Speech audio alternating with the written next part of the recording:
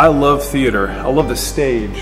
I love the fact that on the stage you can be someone completely different. You can explore facets of your personality that you would never normally explore. And that's what I love about Minecraft is you have the opportunity to play as somebody completely different. My name is Ben Spieldenner. I'm an English teacher and educational technologist for Ashland High School in Ohio, and I'm also the stage director of the musicals here. One thing I've learned over the last few years about working with students on stage is that they have the opportunity to learn so much about themselves through what they do on stage. And the same is true for Minecraft Education Edition. Students learn so much about themselves through playing this character in a digital world. Episode 4 of Minewhat is all about curriculum. It's all about looking at why you would use Minecraft Education and how you can effectively create an immersive environment for your students. So, enjoy episode 4 of Minewhat.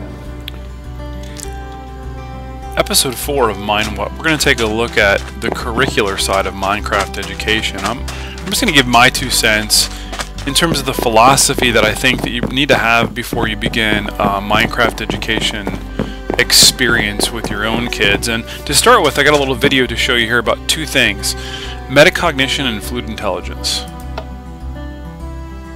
I recently saw a video by Jordan Shapiro in which he's addressing an audience about games in the classroom.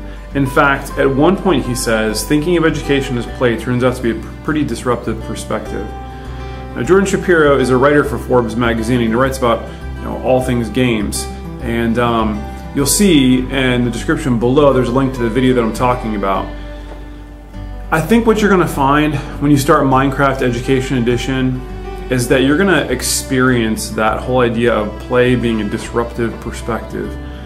Um, what that means, at least what it's meant for me, is a lot of justification for using it in the classroom, and the students will get it right away. But you need to be ready for people that might ask questions. You know, why are you doing this? You know, why are you using video games in the classroom? And really, what it comes down to is informing them about the fact that video games are not just entertainment anymore, but video games are a way of engaging students and creating learning in ways that, that have never been done before. In fact, in his TED Talk to Brussels, Gabe Zichermann, who's the CEO and co-founder of Onward.org, talks about this very notion of using video games as, as a learning tool. And at one point he starts to talk about the um, two different kinds of intelligence. One of those is fluid intelligence. And when he talks about fluid intelligence, he talks about the reality that video games really meet all of the all of the basic building blocks of creating fluid intelligence. In fact, I would argue probably more effectively than most uh, classroom tools. Uh, he also goes on to say that kids move faster these days, and he talks about how he would, you know, he's not the kind of person that would sit down with a cup of tea and just read a good book. And if I'm gonna be honest, I'm probably not. Now I teach English, and I, that's not the kind of person that, that I I am. Now I love books and I love to read, but generally speaking, I need something that's going to be fast paced, involves me, you know, multitasking, those kinds of things. And really today's kids are the same way. When we look at building fluid intelligence, you know, when we look at the fact that our kids move faster these days, when we look at the fact that kids can multitask better these days than probably any generation before, a lot of the classroom activities that we do, that, that I've done in the classroom, don't meet a lot of those needs. So how do you do it? Well, one tool is by using video games and Minecraft Education Edition uh, to be more specific actually. Now I'm not suggesting that video games you know, are, are going to save education, but what I am suggesting is that video games and Minecraft Education Edition in particular are a great tool to be able to engage your students and get them to learn at the same time. So it's one tool that you can use as a classroom educator you know a little more about metacognition and fluid intelligence and really how important that is in terms of making your kids more aware of their own thinking, the next thing we need to take a look at is why are you going to use Minecraft education? And this is an important question because what it really does is it helps you determine direction. You know, do I head one direction, jump in with both feet and just see what happens? Or do I head down a different direction and I plan everything out. this is really only a question that you can answer for yourself. You know your students best, you know how you best want to utilize Minecraft education. You know, you can you can start with uh, a simple setup where you have a house and uh, you give them the exact materials they might need or you can set them off on their own and let them be free to explore and to create uh, their their own way. And and I also want to make sure that I give you permission too to be able to to do both with your classes and with your students.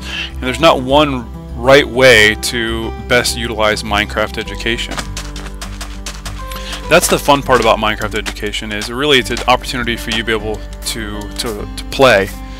Um, to play in a way that's that, that's both fun for you and your students.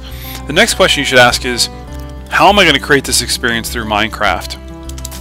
And that's a that's a big question because you need to determine for yourself am I going to make the environment something that I can control where I put all the boundaries around where I want my students to go or do I leave them free to explore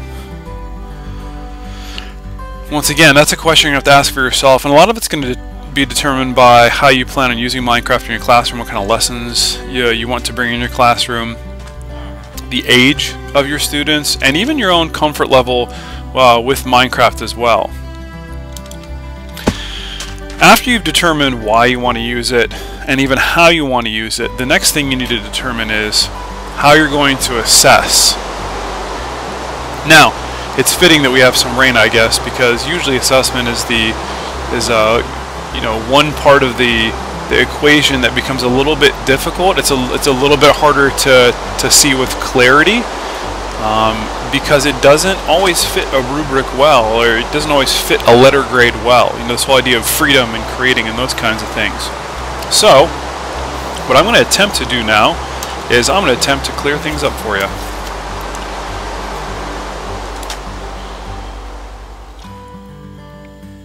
And what I've got here is one more video to show you how it is that I approach this whole topic of rubrics and grades.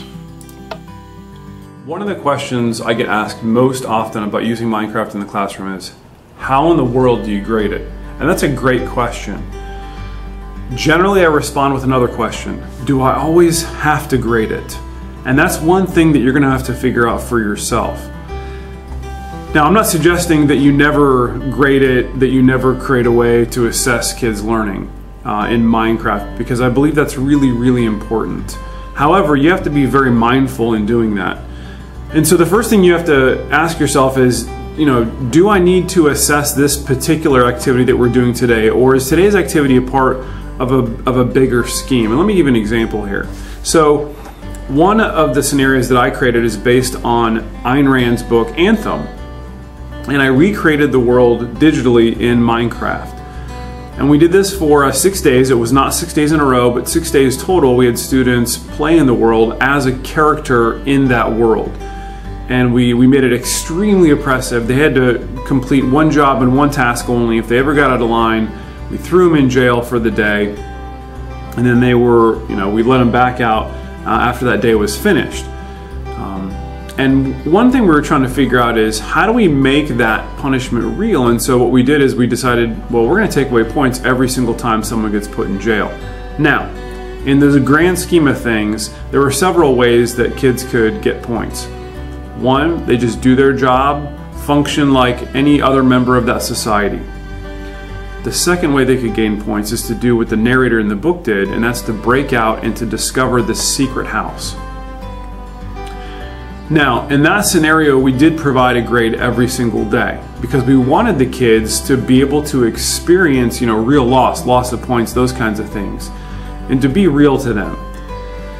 However, in another scenario that I have with my uh, freshman students, we were doing a series of short stories uh, that involved uh, post-apocalyptic worlds, and so I dropped them into a very simple-made village in which they had to survive, and that was their that was their sole goal was to survive. I didn't give them any grade for it. The reason being is because it wasn't necessarily about what it is that they did. I wanted them to experience what it would be like to be in a post apocalyptic world where the only things that you get are things that you can scavenge. And what is it, you know, what is it like when you realize that you can't really escape this small village because there are monsters outside? And so we use that as part of a narrative. And so it was one piece of a larger whole. So you have to figure out is this a scenario where I want to give them a daily grade or I don't necessarily need to give them a daily grade. This is part of a larger picture. This is more of an experience that they're going to use uh, in the overall lesson itself. The next question you may be asking is how do I know that this has achieved the goal that I wanted it to achieve? And really the best way to do that is just, to ask your students, you know. Um, and you have to decide what it is that you want to achieve before you begin your world. You know, what's your overall goal? Um, and then once you figure out what your overall goal is, then you can figure out ways to either a, assess it using a grade of some kind, uh, or B, use that as part of a larger whole and you can do things like you know, informal discussions or, or more formal writing pieces that will maybe have grades then attached to them as well. I wouldn't get hung up on the whole grade thing though. And not because I don't think grades are important, but just because this creates an experience for the students. And sometimes if you attach a grade to those experiences, they'll be less concerned with the experience itself and more concerned with getting all the points that they need to get. Now, if that's what you want to create, like I wanted in my Anthem world, great. But if you don't want students to be more worried about the points they're getting than the overall experience itself, then maybe this is one of those things that you don't necessarily have to grade and you can have students reflect on instead.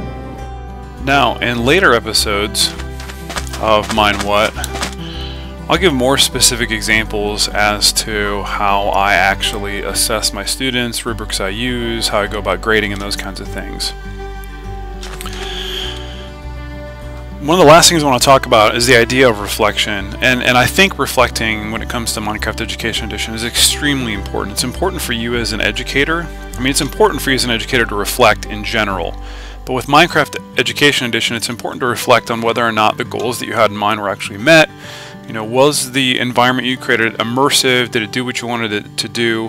And also to have students reflect. Reflect on what they learned, what they did. You know, did they behave differently in the world than they would in, in real life?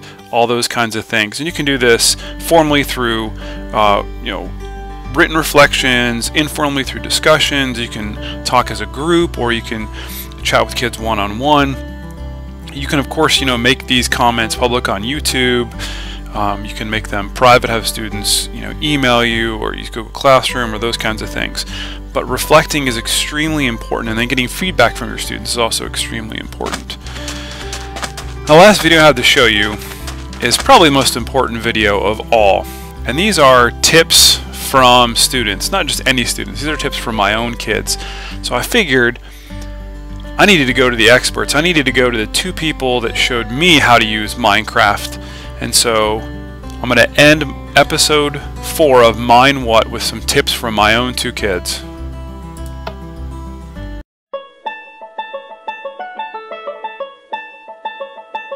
I like that since in real life you can't, as a kid, you can't build a house and like you can't destroy stuff. That whenever you like build stuff, you can destroy it and you could like redo it. But in the real world, when you do it, it won't work that much. And I also like how when you're building and stuff, you have an option of like just breaking the block and there's like tons and tons of different blocks that you can use and like I love all the different mobs and stuff and my like my favorite mob is a creeper and my favorite animal in it is probably the baby sheeps and so I like Minecraft because it's a lot different from the real wor world and you can do a lot more.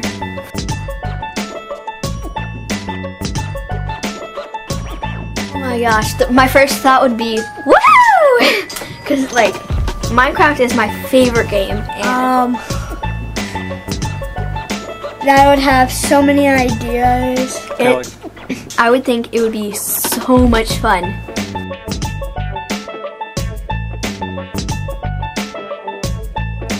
Like you could help it with math because mostly it could be like times because you would have to use like certain kind of blocks to build your house.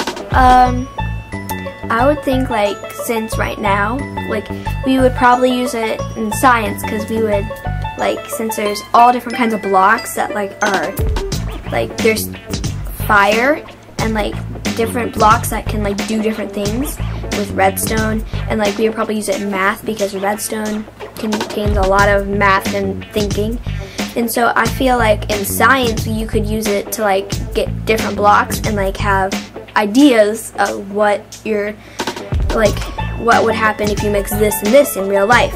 What would happen?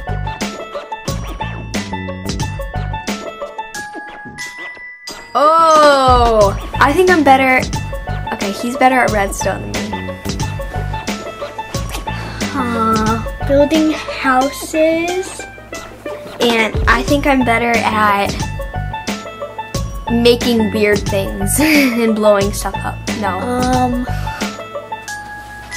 I'd say pools and like big um places. Oh yeah, I taught him how to make an elevator. I'm pretty much better at like sticky pistons and like pistons.